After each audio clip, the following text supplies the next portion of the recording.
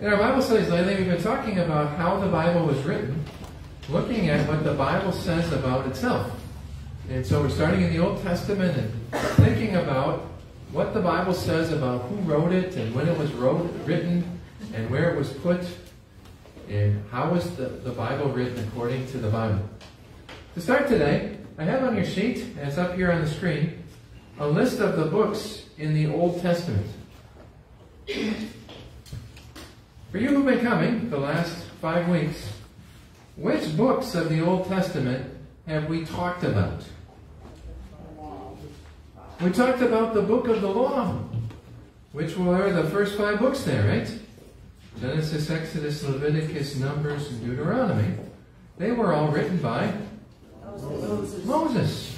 Right? It seems like that's the earliest part of the Bible that was written down.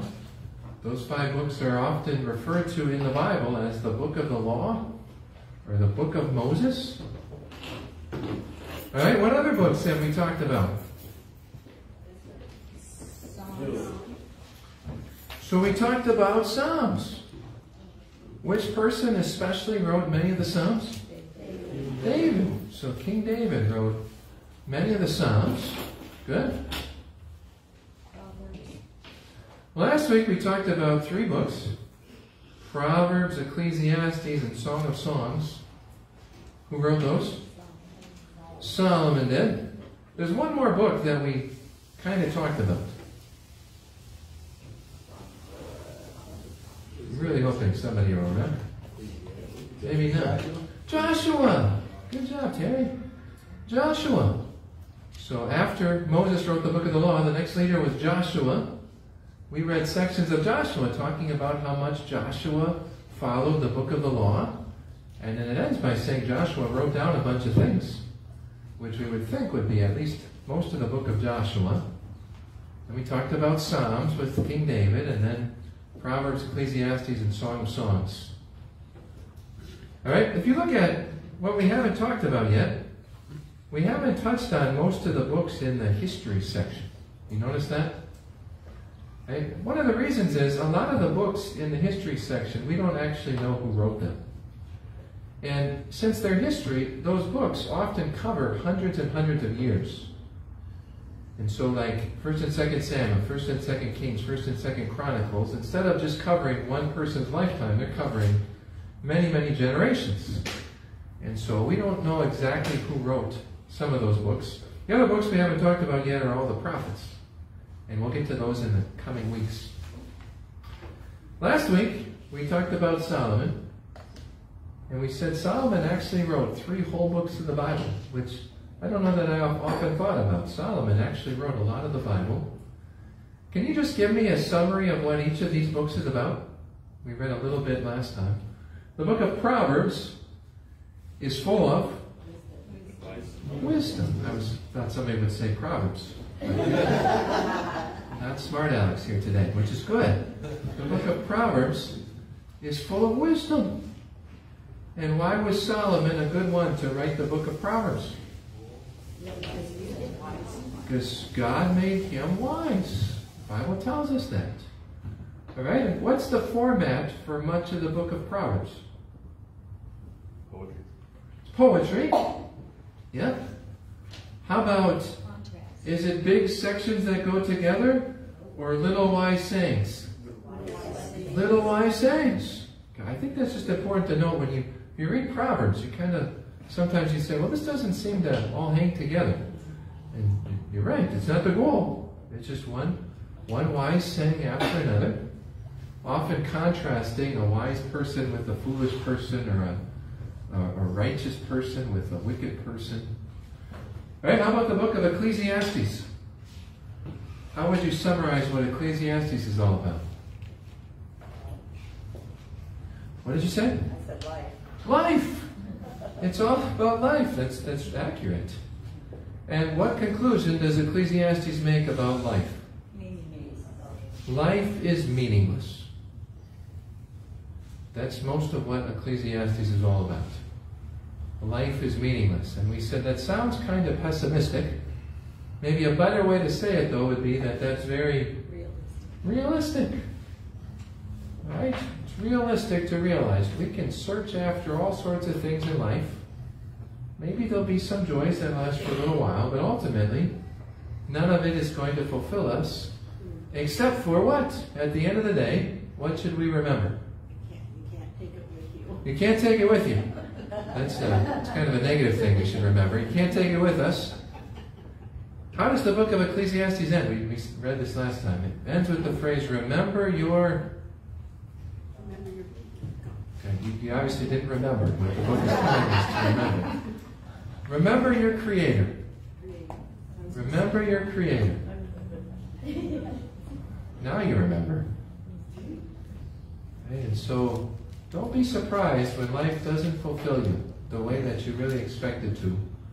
And at the end of the day, remember your Creator. Remember God. Keep His commands. This is what life is all about. And finally, Solomon also wrote Song of Songs. I was talking with someone before class. Maybe in some Bibles you've seen it as Song of Solomon, which is the same thing. So there's different names for the same book, Song of Song, Song of Songs, or Song of Solomon. And what's that about? Love. It's a love story. It's a love story between a king, who we would assume would be Solomon, and his wife. And so it's a beautiful love story. Any questions about what we talked about so far? So let's move on. You open up to page two on your study sheet. It says, not wise enough. Solomon's downfall. We talked last time about how God made Solomon so wise and he made him wealthy and he wrote these books of the Bible. And one sad thing in the Bible is that Solomon, with all of his wisdom, fell away from God. And what that did is that impacted all the rest of the history of the Israelites. Solomon falling away from God. And so we're going to start by reading that. So 1 Kings chapter 11. I told you to open up to 1 Kings. So turn to chapter 11.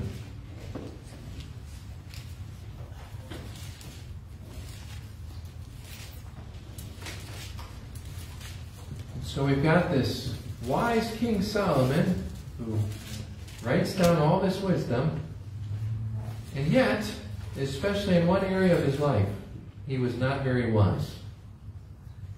And so, 1 Kings chapter 11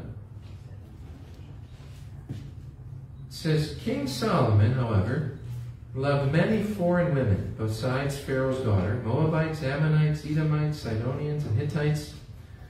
They were from nations about which the Lord had told the Israelites, You must not intermarry with them, because they will surely turn your hearts after their gods.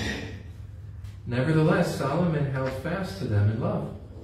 He had 700 wives of royal birth and 300 concubines, and his wives led him astray.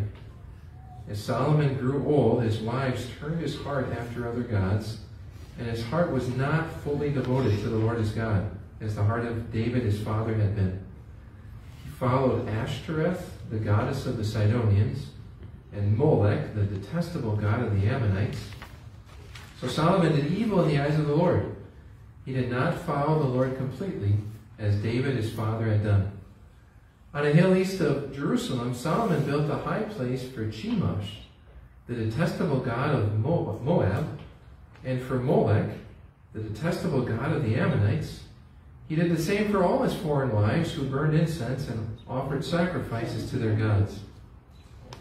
The Lord became angry with Solomon because his heart had turned away from the Lord, the God of Israel, who had appeared to him twice.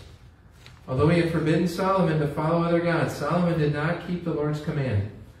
So the Lord said to Solomon, Since this is your attitude, and you have not kept my covenant and my decrees which I commanded you, I will most certainly tear the kingdom away from you and give it to one of your subordinates. Nevertheless, for the sake of David your father, I will not do it during your lifetime. I will tear it out of the hand of your son. Yet I will not tear the whole kingdom from him, but will give him one tribe for the sake of David my servant, and for the sake of Jerusalem, which I have chosen.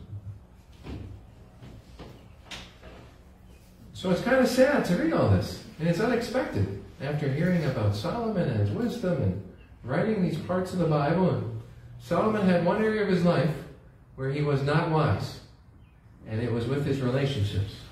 And so, it's hard to believe or even understand how this works. But how many wives did Solomon have? 700 wives.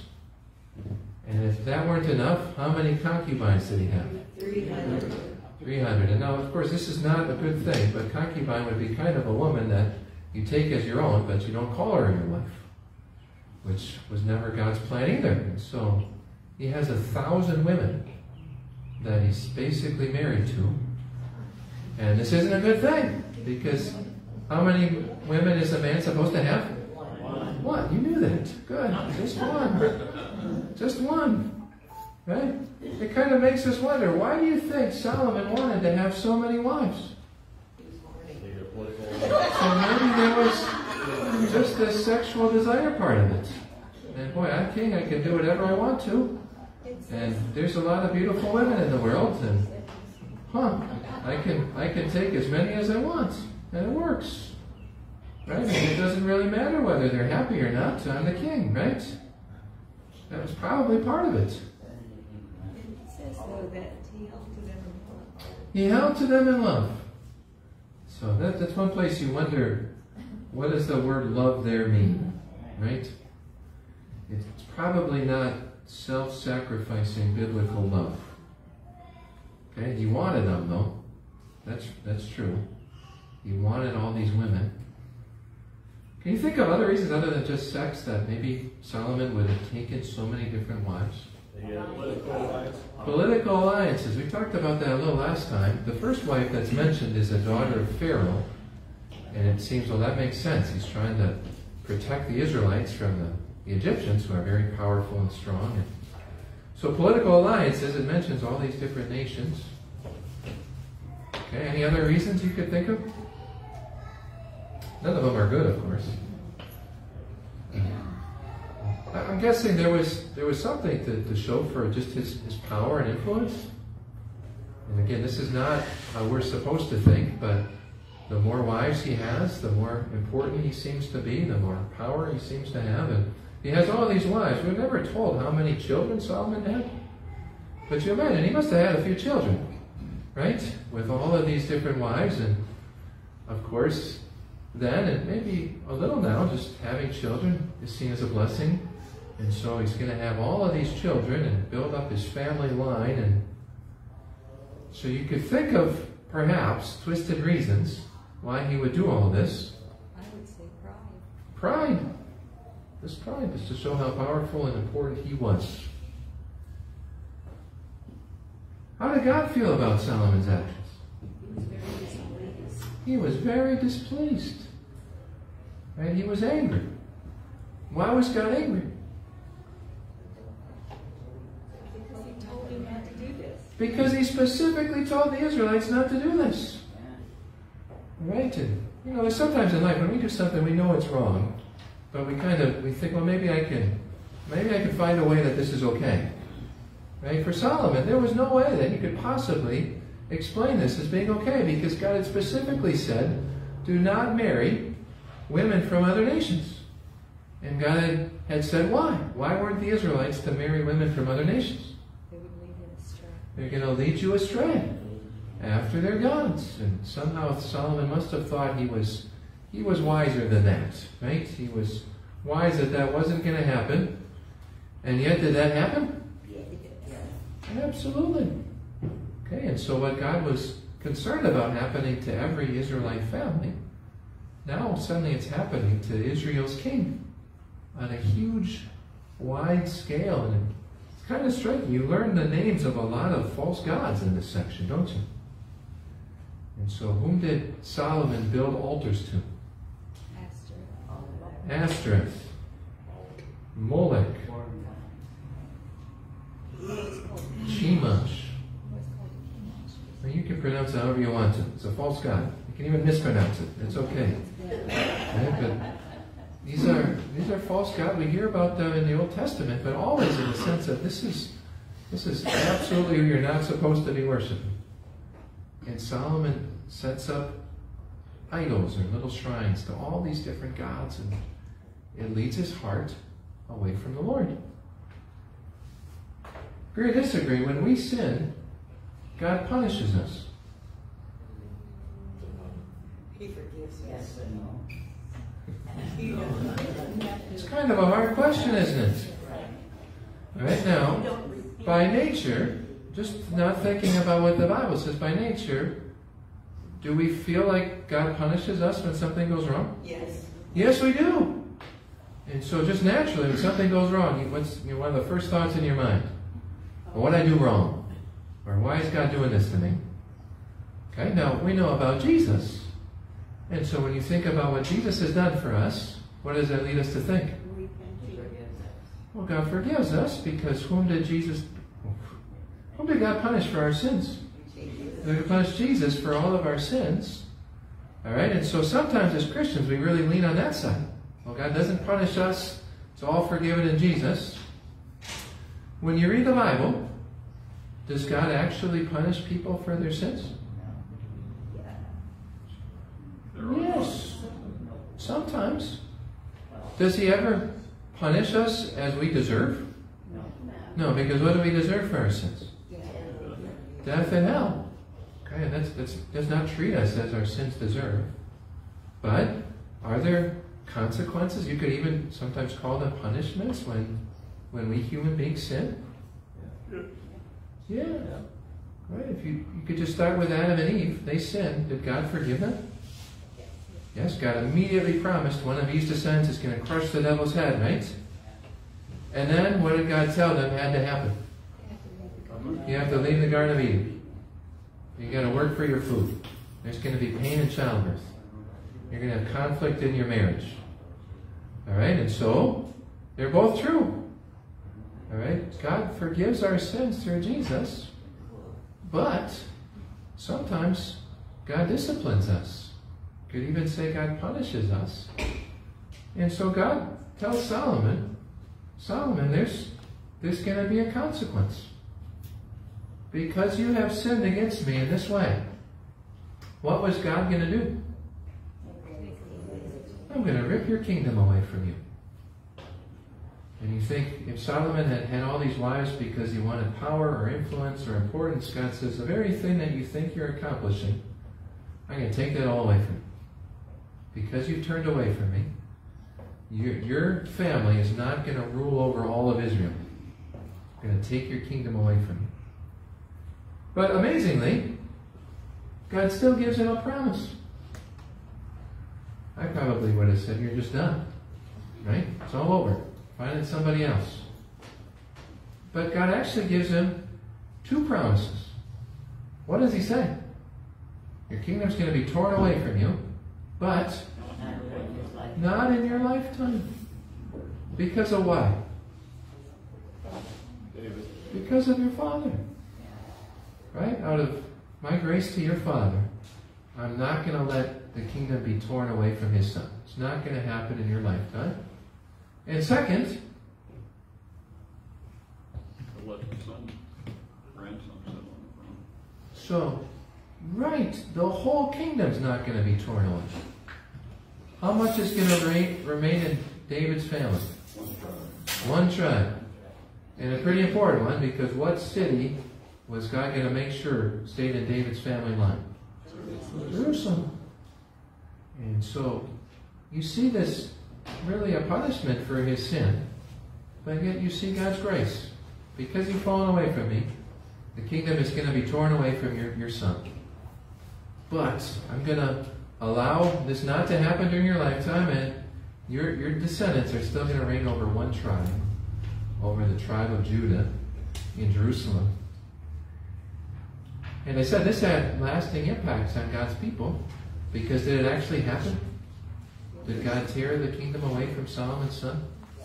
Yeah. Who was Solomon's son? Rehoboam. Terry is two for two today. Wow, I said, you know, without Jonah here, somebody's got to pick up the slack. Terry is doing it. This is great. Solomon's son was Rehoboam. And God gave most of Israel to another man with a very similar name, Jeroboam. Jeroboam. And so Jeroboam was one of uh, Solomon's officials. And Jeroboam is the one who gets the rest of Israel. And Rehoboam is just left with the tribe of Judah and Jerusalem. And do they ever get reunited? No, they never do.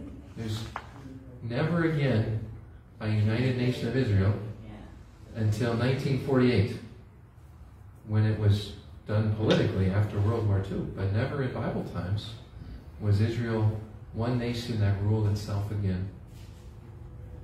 All right, before we move on, what lessons can we learn about a true Christian marriage from the story of Solomon?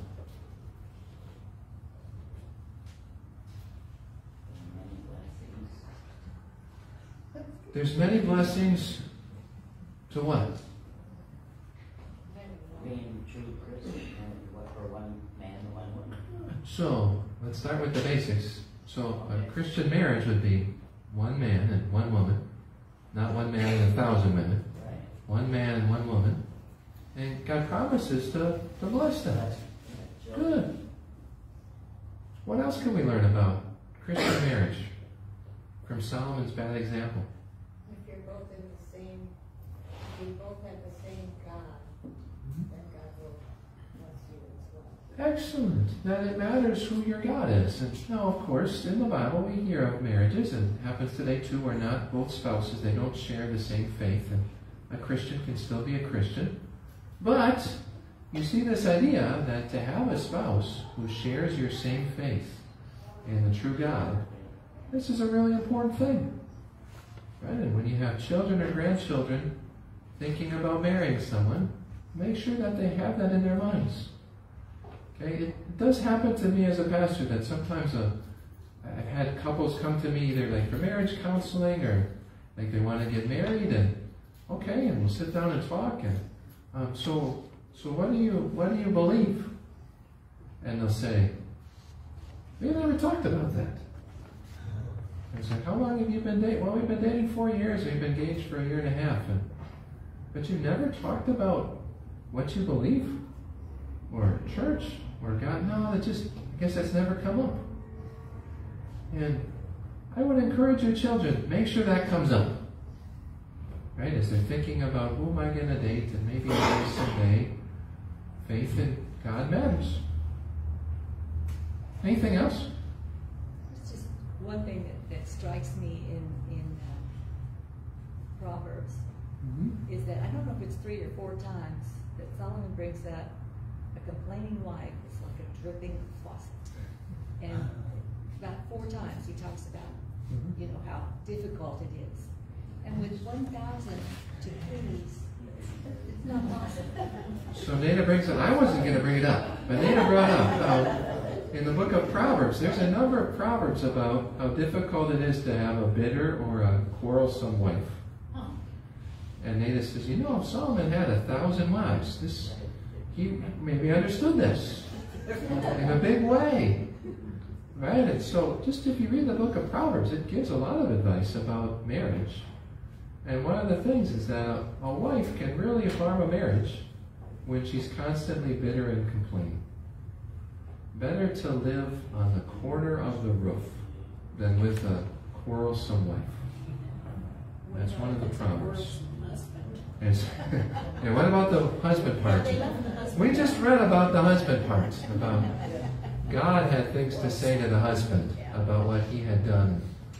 And so maybe we can learn some things from this man. I just was reading something that was a Christian was talking about marriage, and he, he, he was he said something like, I never thought about this before, but you can always find someone who you think is better. So if you're married right now, you can find someone who looks better than your spouse. And you know, can we, this happens, doesn't it? You're going to find someone who's better looking. You're going to find someone who at least seems to be kinder or more sympathetic. And you're going to find someone who might have more money in. All right? And just realize that. But God's put you together with the one that you have. Okay. And so the this idea, well, maybe this person looks doesn't matter. Right? God's given me this person. I should be aware that there's going to be people in life who seem better than my spouse.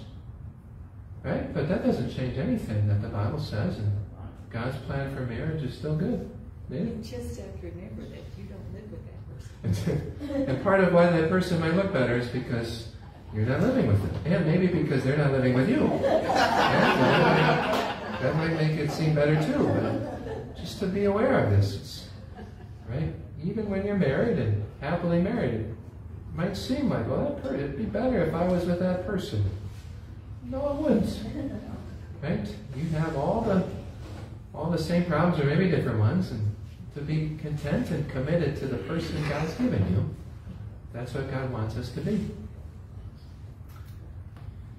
Right? We're talking about the Bible, though, not marriage. And you think, well, what, what impact does Solomon falling away from God have on the Bible? And the impact it has is that as future kings come for Israel, the new nation in the north, and Judah, David's nation in the south, what's sad is that many, many of the kings are not faithful to God. And this certainly has an impact on God's people and even on the Bible itself. So we're going to jump to the next book, Second Kings, but also chapter 11. We just read 1 Kings 11. We're going to turn to 2 Kings chapter 11. And what we're going to focus the rest of the class on is on two dark periods in the history of God's people and how God miraculously preserved his word even in the face of great obstacles. And so in 2 Kings chapter 11, we're going to hear about a lady named Athaliah. And it's maybe perhaps unfortunate that today's Mother's Day, but we're going to talk about an awful mother on Mother's Day. That wasn't my, my design. It's happened that way. All right, so we're going to read about a woman named Athaliah. And before we even read it, you can see I have the question, who is Athaliah? Does somebody know who Athaliah is connected to? Athaliah is the daughter of the two worst rulers God's people ever had. Does that help you? Ahab, and who's Ahab's wife? Jezebel. Ahab and Jezebel were king and queen in Israel, and they were the worst, right? What prophet was there who was always warring against Ahab and Jezebel? Elijah. This is Elijah and the prophets of Baal, and Jezebel's trying to kill Elijah, and Naboth's vineyard, and there's all these stories about how wicked Ahab and Jezebel are. And their daughter is Athaliah. And unfortunately, Athaliah marries somebody. And so you would, I guess that's a common theme today too, this marrying the wrong person thing. She marries the king of Judah. So you've got Israel with these terrible rulers, Ahab and Jezebel, and you've got Judah, which is the one who stays in David's family, and you hope at least some of their kings are going to be believers in God. Ahab and Jezebel have a daughter. She marries who's supposed to be the believer in God, king of Judah. And so now you've got these bad rulers who've turned away from God impacting both kingdoms of God. Is this making sense? And God, like he, he sometimes does, punishes people. God told Ahab and Jezebel that he was going to wipe them out. And he sent somebody to do that. And the man he sent to do that was Jehu. And Jehu wipes out the family of Ahab and Jezebel. He kills all of them. In the meantime, he kills the king of Judah, who was married to Ahab and Jezebel's daughter. And that's where our story comes in. That we have this moment of turmoil. The whole royal family in Israel is killed off by God's will because they turned away from him. But now Judah also doesn't have a king because their king got killed. And the person in power is Athaliah, who isn't from Judah and is against God. Following all that? Right? Sometimes politics today seems like it's complicated. Not really a new thing. All right, so let's read 2 Kings chapter 11. When Athaliah, the mother of Ahaziah, saw that her son was dead, she proceeded to destroy the whole royal family. And so Athaliah has married into the kings of Judah. Her son, the king of Judah, gets killed because of Jehu. And when Athaliah sees that, what does she decide to do? Well, let's kill him off. But ironically, whom is she talking about? It's her own family that she married into. And so here is an evil queen who says, huh, well, look at this. All the kings of the Lord's people are dying. This is great. Let's kill off anybody who could ever be a king of, of the Lord's people. And then nobody will believe in the Lord. And then they can believe in my God. Who was Jezebel's God? One of them we haven't mentioned yet. Baal. Baal. Then everybody can worship Baal. See what's happening? All right, verse 2. But Jehosheba, the daughter of King Jehoram and sister of Ahaziah, took Joash, son of Ahaziah, and stole him away from the royal princes who were about to be murdered. She put him and his nurse in a bedroom to hide him from Athaliah so that he was not killed. He remained hidden with his nurse at the temple of the Lord for six years while Athaliah ruled the land. And so Athaliah, this evil queen who's not really from Judah, is killing off her whole family, and one person gets saved. Who gets saved? Joash. Joash gets saved. So what would be the relationship between Athaliah and Joash? Grandmother. Grandmother to son. So this grandmother thinks she has killed off her whole family. And that's what she wanted. But little Joash is saved and hiding. And where is he actually hidden? They hide him in the temple. Which is kind of ironic, because what's one place that Athaliah would never go? the Lord's temple. She didn't believe in the Lord. So Joash grows up living inside the temple. And you kind of get the picture. He never left. It's just his boy, his, his whole life. He's in the temple of the Lord. All right, verse 4. In the seventh year, Jehoiada, Jehoiada is the high priest, Jehoiada sent for the commanders of units of a hundred, the Carites and the guards, and had them brought to him at the temple of the Lord. He made a covenant with them and put them under oath at the temple of the Lord. Then he showed them the king's son. He commanded them, saying, This is what you are to do. You who are in the three companies that are going on duty on the Sabbath, a third of you guarding the royal palace, a third at the sewer gate, and a third at the gate leading behind the, at the gate behind the guard, who take turns guarding the temple. And you who are in the other two companies that normally go off Sabbath duty, are all to guard the temple for the king. Station yourselves around the king, each of you with weapon in hand. Anyone who approaches your ranks is to be put to death. Stay close to the king wherever he goes. The commanders of units of a hundred did just as Jehoiada the priest ordered.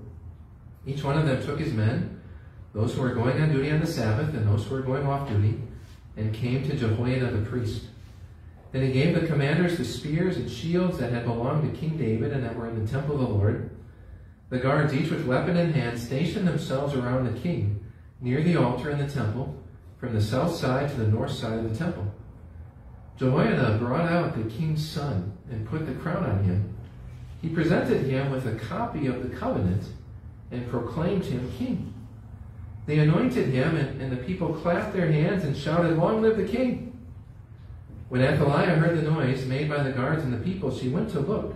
She went to the people at the temple of the Lord. She looked, and there was the king, standing by the pillar as the custom was. The officers and the trumpeters were beside the king, and all the people in the land were rejoicing and blowing trumpets. Then Athaliah tore her robes and called out, Treason! Treason! Jehoiada the priest ordered the commanders of units of a hundred, who were in charge of the troops, bring her out between the ranks and put to the sword anyone who follows her. For the priest had said she must not be put to death in the temple of the Lord. So they seized her as she reached the place where the horses enter the palace guards, and there she was put to death. Jehoiada then made a covenant between the Lord and the king and the people that they would be the Lord's people. He also made a covenant between the king and the people. All the people of the land went to the temple of Baal and tore it down. They smashed the altars and idols to pieces and killed Mattan, the priest of Baal, in front of the altars. Then Jehoiada the priest took, posted guards at the temple of the Lord. He took with him the commanders of hundreds, the Carites, the guards, and all the people of the land, and together they brought the king down from the temple of the Lord and went into the palace, entering by the way of the gate of the guards. The king then took his place on the royal throne.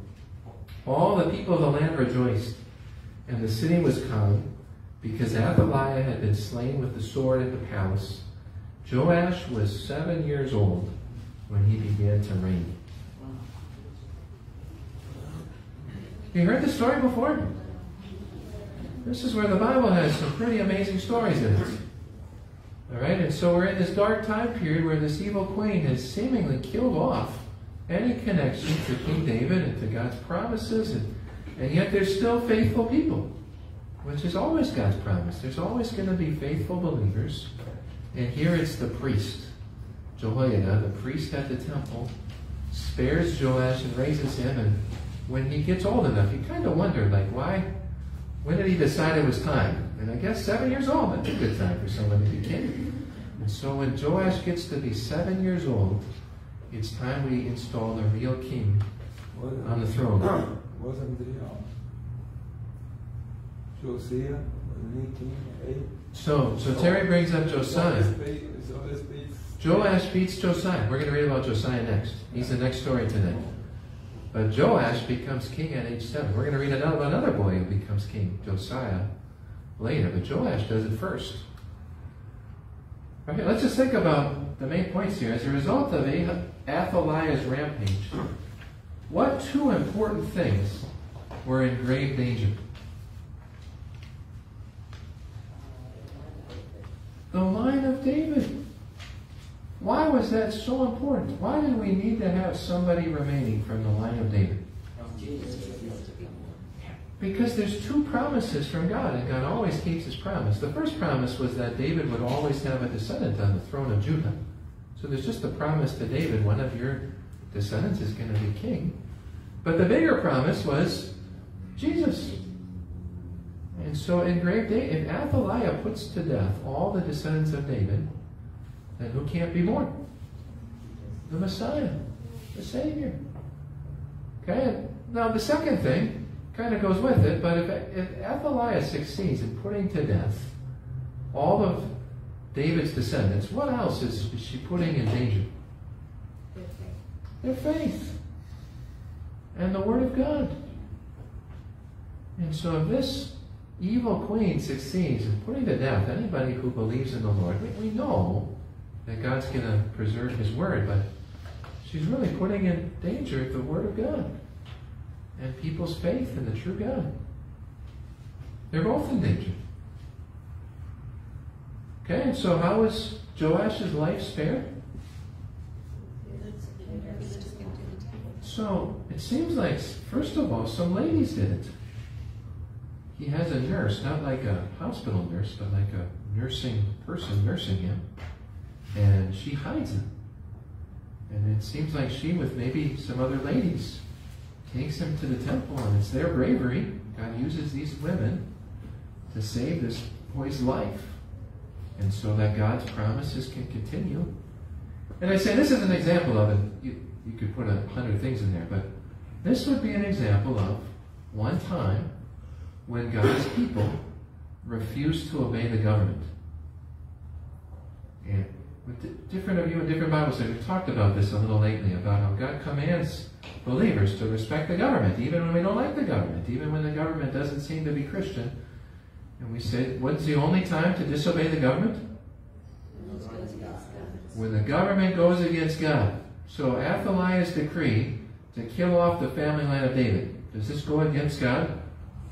Yes. And so here's an example of some women together with the priest who defy their government's orders and they keep this boy alive and this was a good thing right? They must obey god rather than a woman at this point. It's kind of like Moses. kind of like moses right? Moses' mother. Yeah. So we can think of other examples of this right? Yeah. You know? How Josiah, or Joash was life spared, I, I thought maybe because he was hidden the temple of God and she didn't want anything to Yeah. do it. so, so ultimately that's how his life was spared Yep. first the, the, the nurse mother Yeah, hid him but then for six years he's hidden in the temple of the lord right, and Athaliah didn't go to the temple of the lord right. So this is a good safe place for him to be.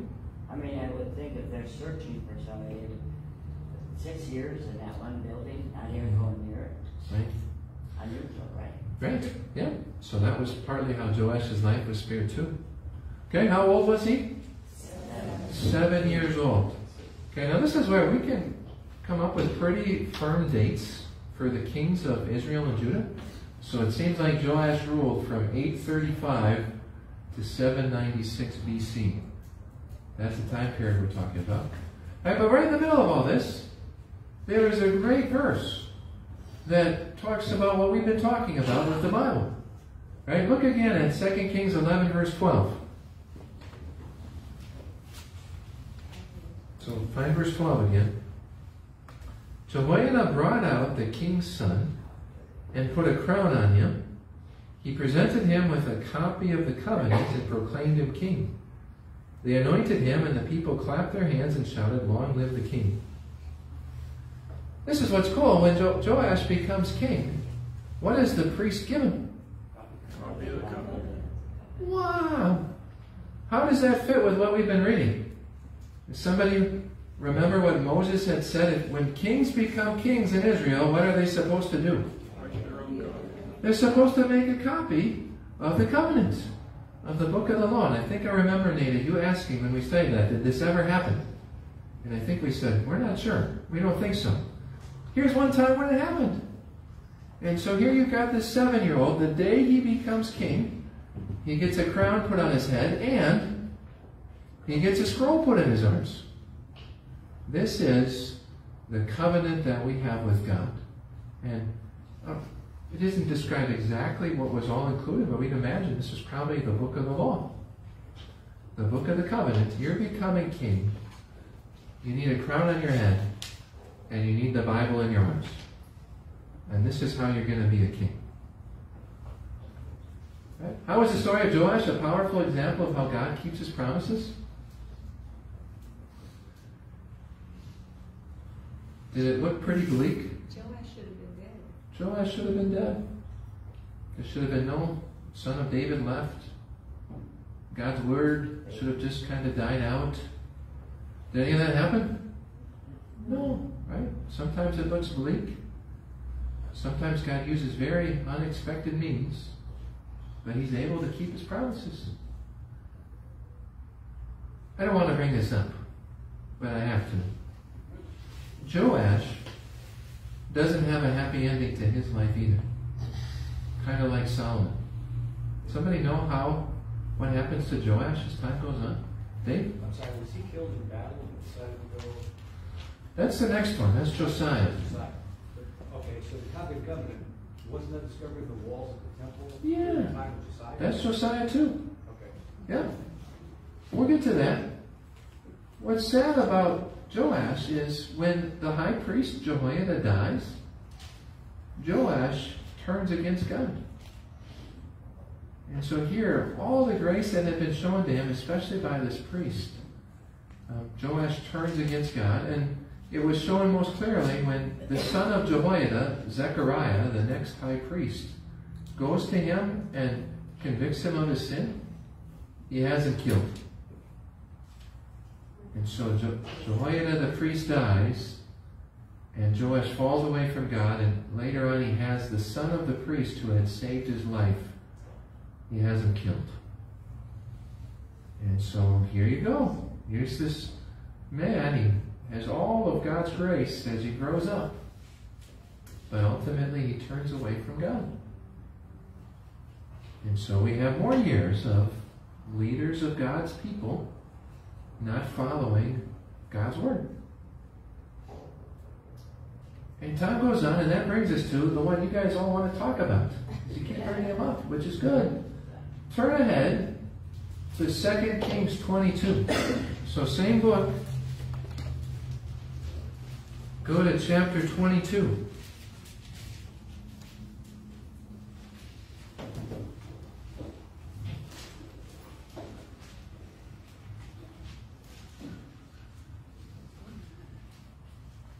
And we're going to read about one more king and what he does with God's word. 2 Kings chapter 22.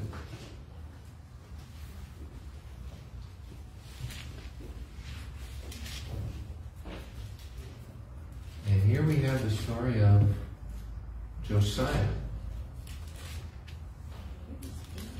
So 2 Kings 22 says Josiah was eight years old when he became king, and he reigned in Jerusalem 31 years. His mother's name was Jedidah, daughter of Adiah. She was from Bozkath.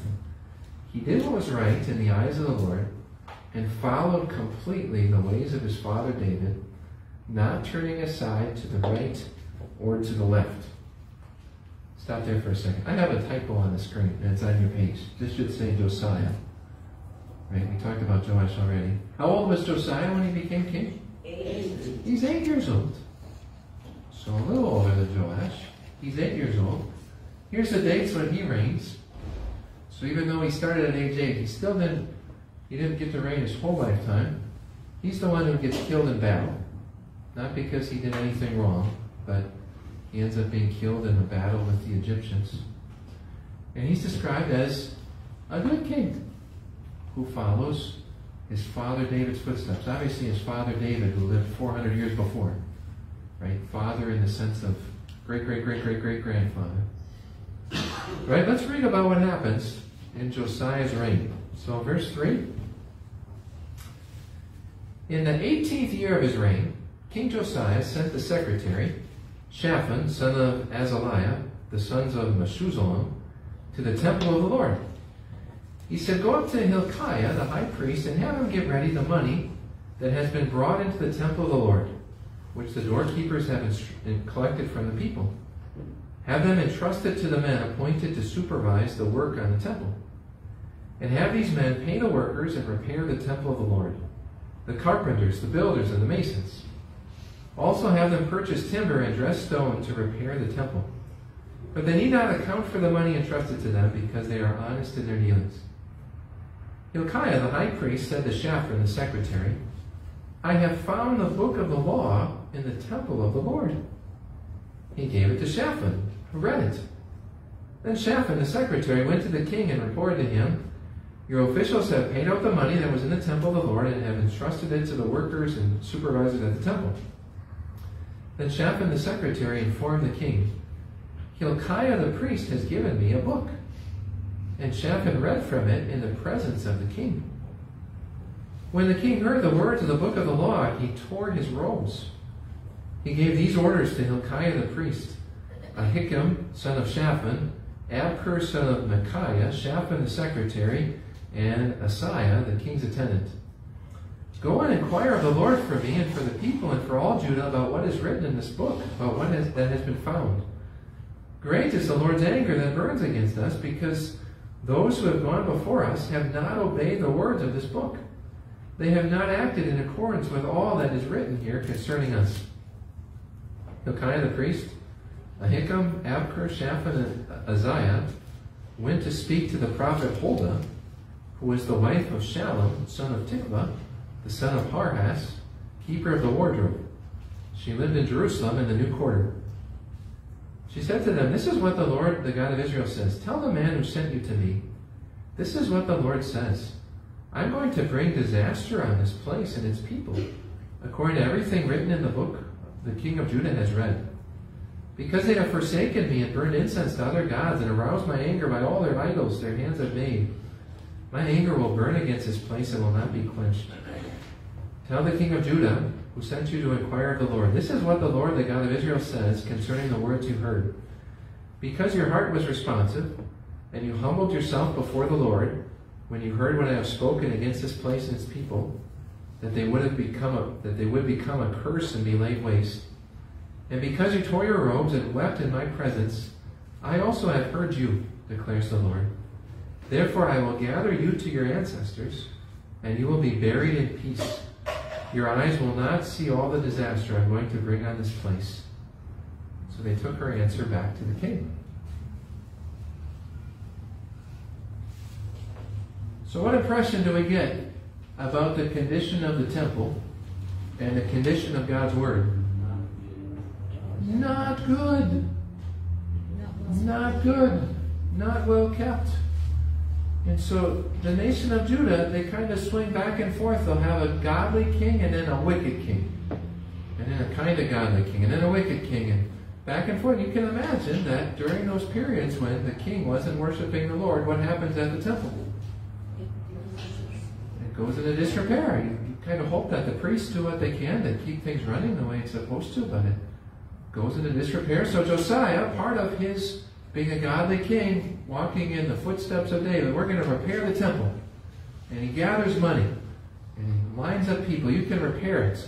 And just spend whatever you need to. You don't even have to give us receipts. Just go fix up God's temple. And what do they find?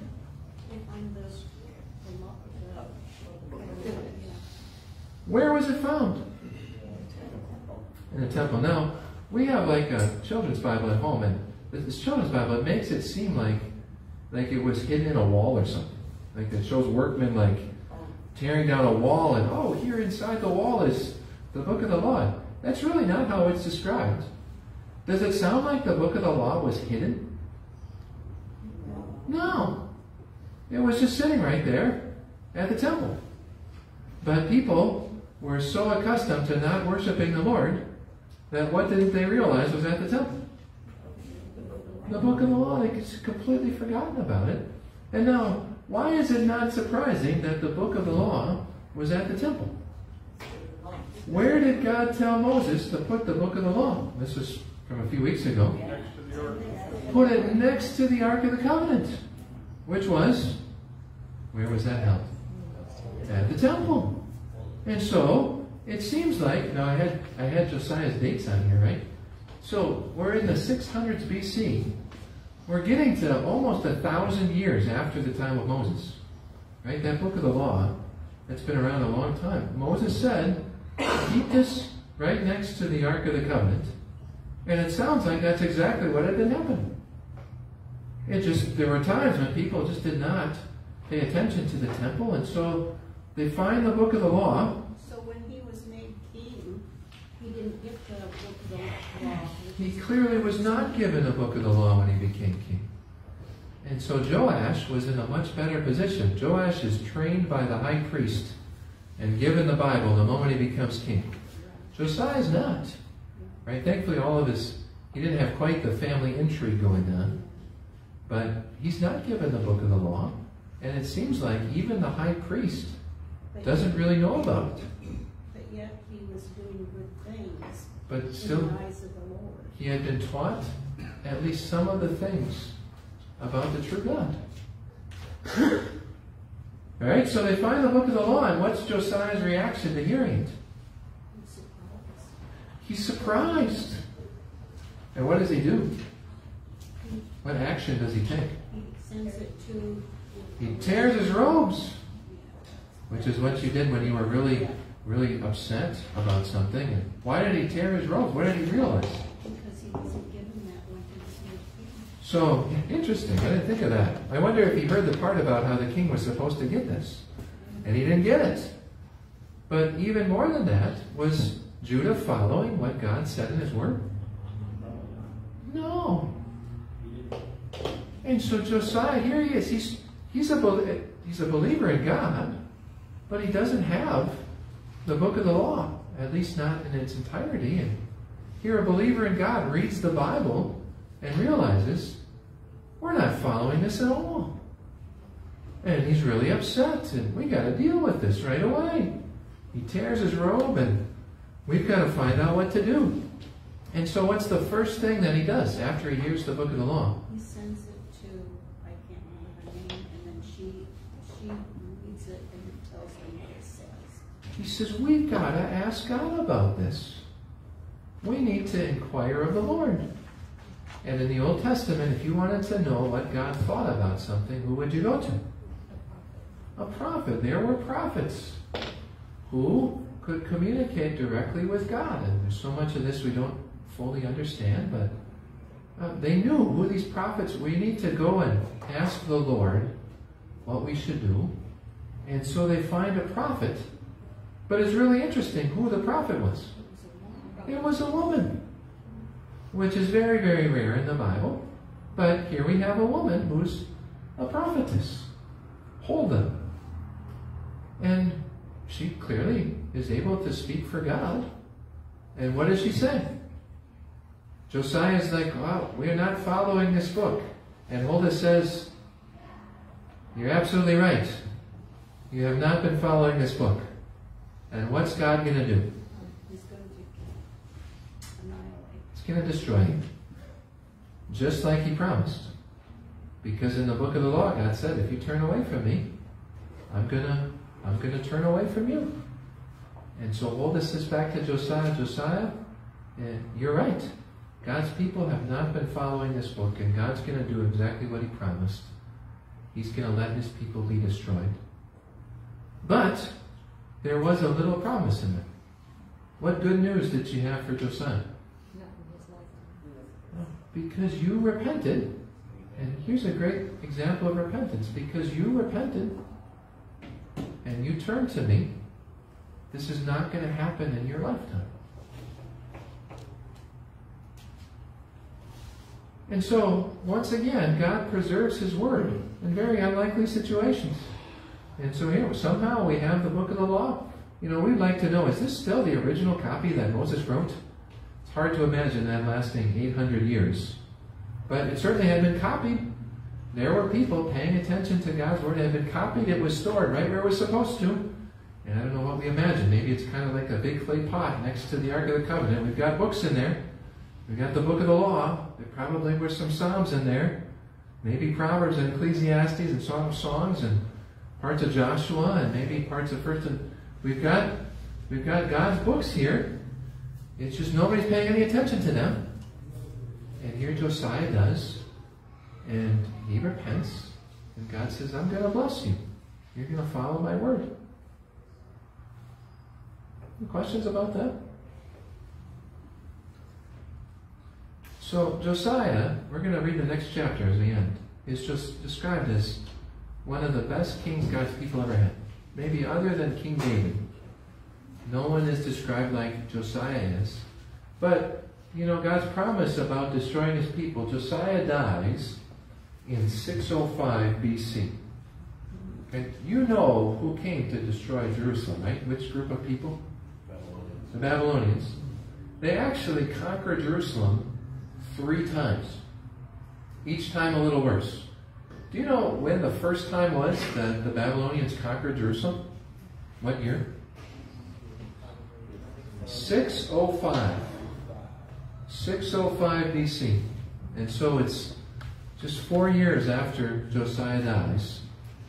The Babylonians come and conquer Jerusalem and take Daniel and Shadrach and Meshach and Abednego captives to Babylon. And so it was just like God said, right? My people have not followed my word. I'm going to destroy them, but not Josiah during your lifetime because you've repented and turned back to me. We're going to read one more chapter. I know we're reading a lot today. It's good to read the Bible. We're going to read the next chapter. We won't have a lot of time to talk about it. But you think about if Josiah is really a good king and he's really going to take to heart God's word, what should he do? Make a copy for him. He should read it, copy it, and then what should he do? actually do it. And we kind of talked about this is sometimes the hard part. First, it's a hard part of actually listening to the word, but then, often harder is actually doing it. And so here's a whole chapter of how Josiah does everything that someone should do when they find the book of the law. All right, chapter 23. Then the king called together all the elders of Judah and Jerusalem. He went up to the temple of the Lord with the people of Judah, the inhabitants of Jerusalem, the priests and the prophets, all the people from the least to the greatest. He read in their hearing all the words in the book of the covenant which had been found in the temple of the Lord. The king stood by the pillar and renewed the covenant in the presence of the Lord to follow the Lord and keep his commands, statutes, and decrees with all his heart and all his soul, thus confirming the words of the covenant written in the book. Then all the people pledged themselves to the covenant. So the first thing is, whom does Josiah get together? Everybody.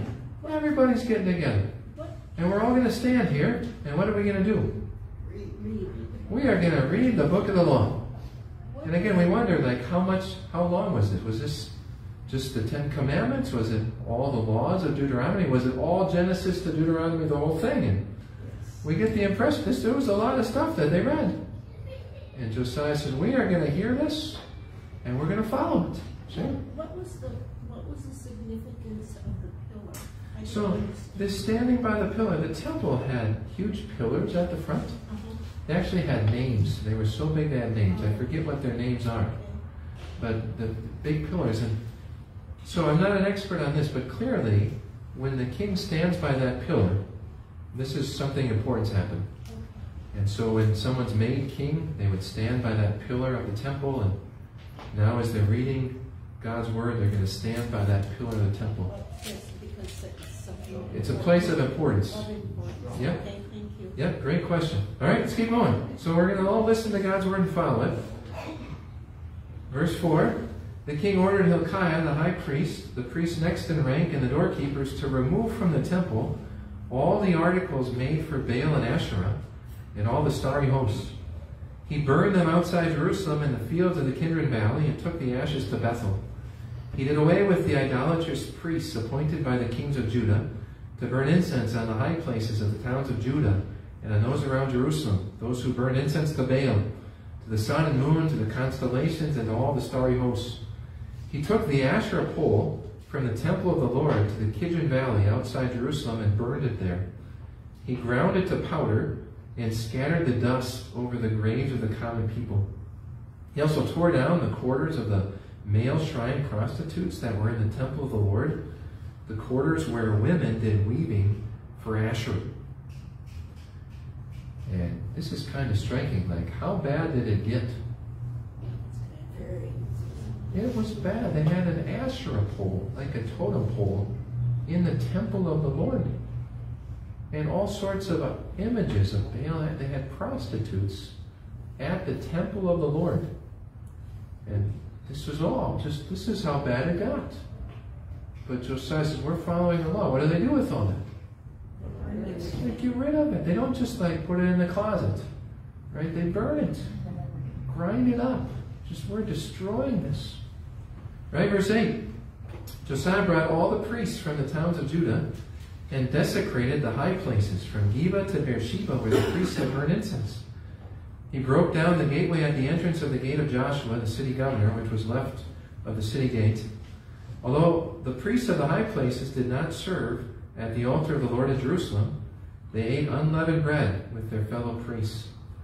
He desecrated Topheth, which was in the valley of Ben Hinnom, so that no one could use it to sacrifice their son or daughter in the fire to Molech. He removed from the entrance to the temple of the Lord the, the horses that the kings of Judah had dedicated to the sun. They were in the court near the ruin of an official named Nathan Melech. Josiah then burned the chariots dedicated to the sun. This goes on and on. Right? What were people even willing to sacrifice to their false gods? Their children. They were even sacrificing their children to false gods. And there at the temple of the Lord, what did the kings put up? Horses dedicated to the sun. You think this is just a mess. Right? Verse 12 He pulled down the altars the kings of Judah had erected on the roof near the upper room of Ahaz, and the altars Manasseh had built in the two courts of the temple of the Lord. He removed them from there, smashed them to pieces, and threw the rubble into the Kidron Valley. The king also desecrated the high places that were east of Jerusalem, on the south of the hill of corruption, the one Solomon, king of Israel, had built for Ashtoreth, the vile goddess of the Sidonians, and for Chemosh, the vile god of Moab, and for Molech, the detestable god of the people of, the, of Ammon. Josiah smashed the sacred stones and cut down the Asherah poles and covered the sites with human bones. And we read about this stuff. We read about Solomon. Do you know about how many years Solomon lived before Josiah? So Josiah's about the year 600. When did David live? 1000. So about when was Solomon king? 970. So how long had all these things to Chemosh and Molech and how long had they been sitting there? 370 years and nobody had bothered to tear them down. Right? And here Josiah finally is motivated by God's word. We're going to we're going to get rid of all this stuff. We're going to hear God's word and we're going to going to follow it. And we're really out of time. But you should go home and read the rest of this chapter. The other big thing he's going to do is they're going to celebrate the Passover, which clearly they hadn't celebrated for a long, long time. And Josiah says, Come on, we got to celebrate the Passover. And so here you have God's word has been found, and it changes people's hearts. And good King Josiah is one last kind of breath of fresh air.